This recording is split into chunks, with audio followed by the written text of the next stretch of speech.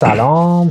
من پوریا هستم به همراه پسردایی میلاد عزیز. توی یه ویدیو جدید می‌خوایم در مورد مقایسه این دوتا ویلچر که تقریبا میشه گفت یکی از بهترین برندهایی توی دنیا هستش این کویکی و این کوشال مدلش این ویلچر سری کی هست و این مدلش هلیوم پرو هستش.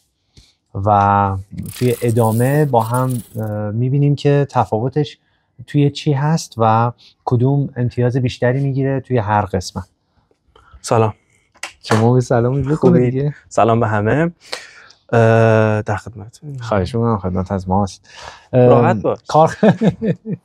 کارخونه کویکی سال 1950 توی آمریکا تأسیس شده و کارخونه کوشا توی کشور سوئیس در سال 1978 و از لحاظ وزنی بخوایم در نظر بگیریم این ویلچر وزنش چند بود؟ 11 و 700 و یعنی کوشال 11 و 700 و کویکی 12 و 200 200 12 و 200 بود. 500 گرم. 500 گرم این ویلچر سنگین تر از.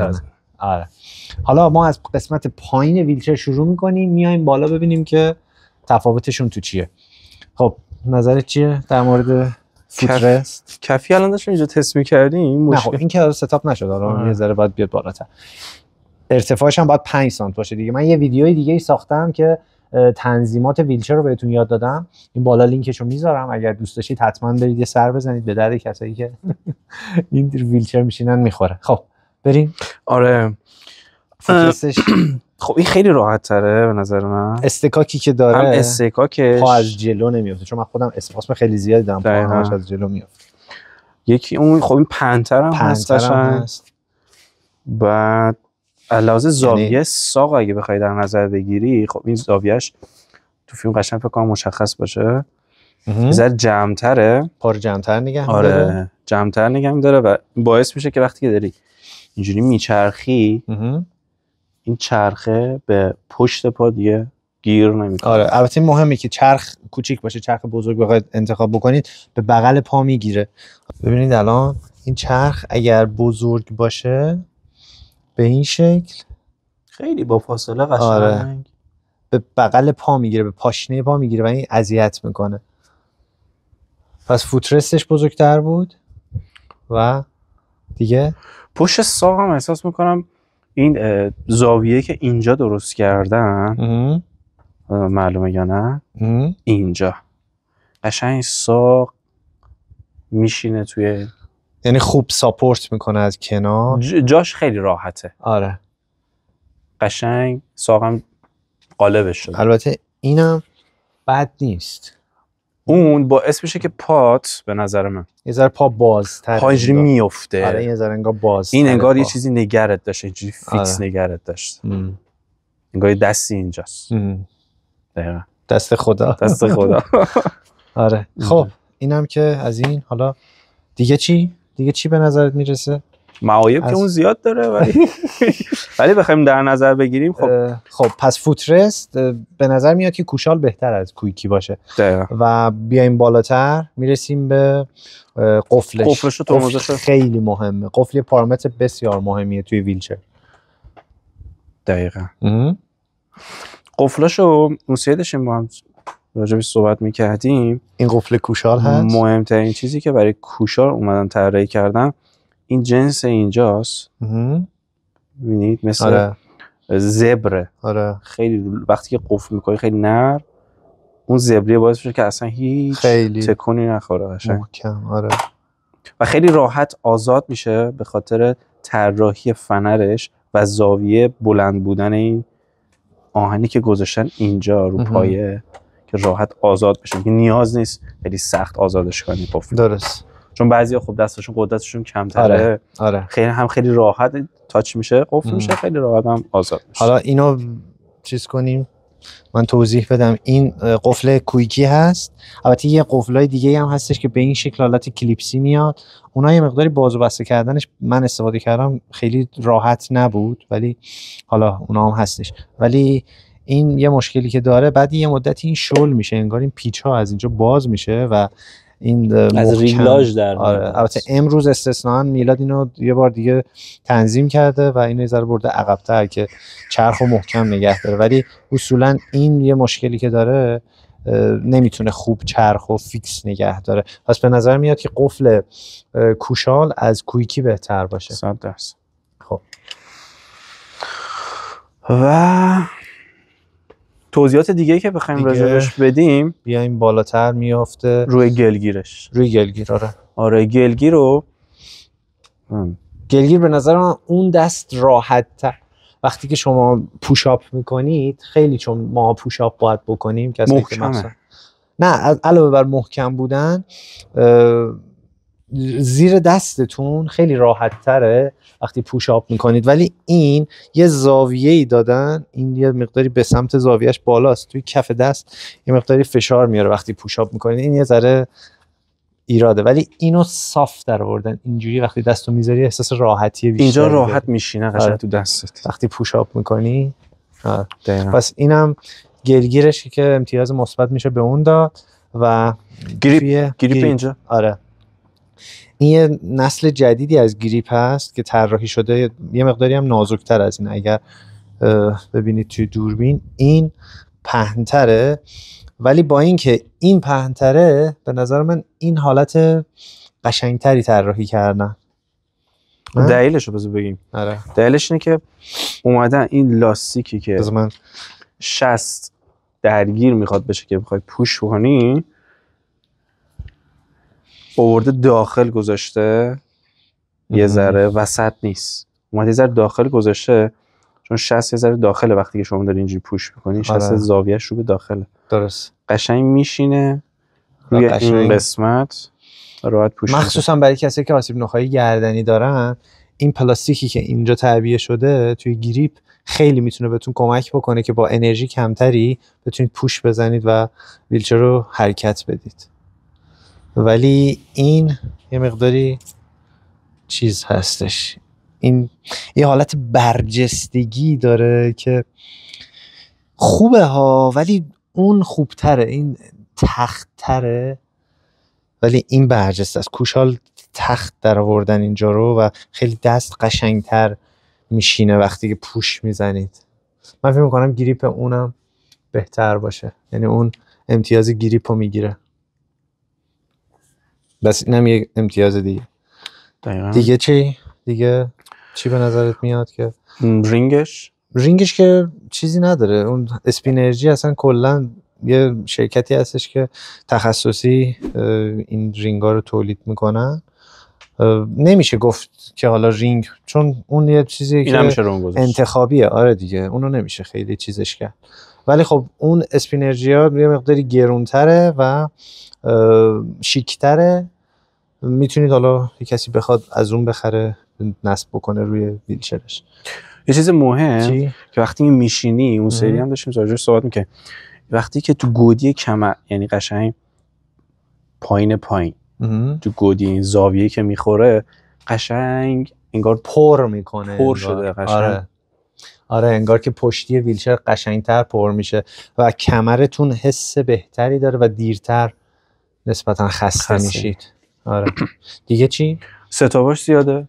می‌خواید از- تنظیم کنی پشت تو یا تنظیماتش آره تنظیمات اون انگار گزینه های بیشتری براتون گذاشتن و ساده تره تغییراتی که می‌خواید روی ویلچر بدید خیلی ساده تره ولی این خیلی پیچیده است. مثلا یه تغییر کوچیک که می‌خواید مثلا پنج تا پیچ رو باز بکنید که اون تغییر کوچیکه رو بدید دوباره ببندید. ولی مثلا ممکنه یه دونه یا دو تا پیچ هندل بشه. اوکیش. و گریپ پشتش. یعنی این. دستگیره ای که یه کسی از پشت می‌گیره. این به نظر میاد که حالا من توی این چیزم بگیرم. خیلی راحت. من از اینجا بگیرم حتی با یه انگوش یه پین گذاشتن اینجا داره. به این شکل می‌زنی میاد و وقتی که ب- ب- بالا هست. زاویهش صافه کسی که داره از پشت ساپورت می‌کنه می‌خواد. مثلا هول بده کمک کنه این راحت نیاز. به خم شدن نیست چون درست. اون یه ذره زاویهش اینجا وایساده دقیقا. آره آره. حالا تو اگه از من بگیری من دقیقا توی فیلم می‌تونم نشون بدم. این پشتی این یه مقداری گرفتنش به نظر میاد سختتر باشه برای کسی که داره از پشت هل میده. دقیقا. آره. و اون جنس پلاستیکی هم که داره باعث میشه که یه دست لیز بخوره ولی اون گریپ بهتری داره توی دست. به نظر میاد که بهتر باشه. و دیگه چی؟ چی به نظرت می‌رسه که تفاوت این دوتا رو نشون میده؟ خیلی تیزه این انگار خیلی واکنش پذیریش بالاتره یعنی شما با یه حرکت می‌تونید خیلی سریع جهتتون رو تغییر بدید خب این خیلی امتیاز مهمیه برای نیاز به فشار. یا چیزی نیست آره. خیلی نرم آره. با اینکه بادشون یکیه آره. تنظیمات بادشون. جفتشون هم واقعا اکتیوه. یعنی واقعا ویلچرهای اکتیو خیلی راحتی هست ولی به نظر میاد این امتیاز بیشتری داره نسبت به اون قابلیت و عمل کردی که باید توی کار انجام بده برای شما. پشتیش هم که میخوابه می‌خوای از پشتم نشون بتونیم بدیم. البته باید یه ذره بیام عقبتر که شاید من دقیقه چیزش کنم اینو از اینجا بگیرم. خب پشتیش هم که به این شکل پشتی با یه انگشت. البته ولی اون واقعا خیلی؟ سخت جابجا میشه. میشه اینو بچرخونی که پشت ویلچر به من باشه؟ آها. این بنده رو به این شکل اگر فشار بدی بعد فشار بدیم بعد می‌کشیم. پشت ویلچر برمیگرد خیلی راحت. خیلی. خیلی راحت. اونو بعضی وقتا اینم- واقعا سخت جابجا میشه. آره. بسته میشه. اینم داره این کویکی هم هستش اینم میشه. از پشت بگیرید اینم داره این آپشنو. ولی خب یه مقداری بعضی وقتا انگار که سختتر باز و بسته میشه. البته به خاطر استفاده شاید. ولی خب خیلی اون انگار نرمتر نرمتر خیلی باز و بسته میشه. خیلی. خیلی چیز راحت تری به نظر میاد. شفا گرفتی بلند شدی. دیگه؟ خب. دیگه همین دیگه فکر می‌کنم تمام مواردی که مربوط به یه ویلچر حرفه‌ای و خوب بود بهتون توضیح دادم که اگر بخواید انتخاب بکنید دیگه تفاوت اینا هستش. خودتون با توجه به شرایط جسمانیتون باید انتخاب بکنید که کدوم بهتره.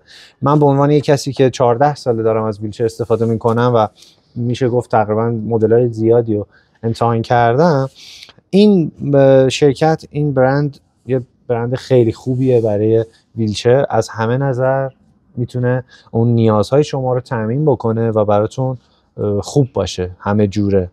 و شما حس خوبی داشته باشید چون توی طولانی مدت می‌خواید روی ویلچر بشینید. خیلی مهمه که بهترین ویلچر با بهترین ابعاد و بهترین تنظیمات داشته باشید و فکر می‌کنم این بهترین گزینه می‌تونه باشه. یکی از بهترین گزینه ها حالا دیگه انت مثل تفاوت بنز و بی ام به نظر من نه؟ این بنزس بکنم حالا یه سری هم خب بی ام دوست دارن.